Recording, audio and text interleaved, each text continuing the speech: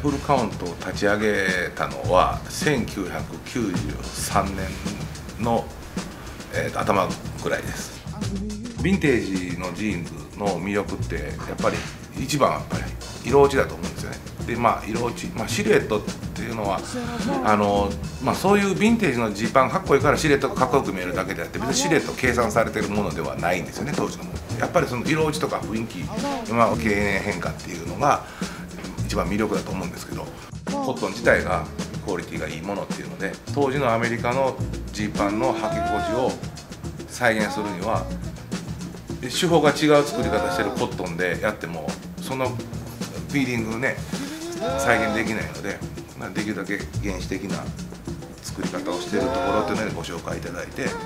まあ、あんまりその流通なかったんですけどジンバブエコットを選んだっていう形になります。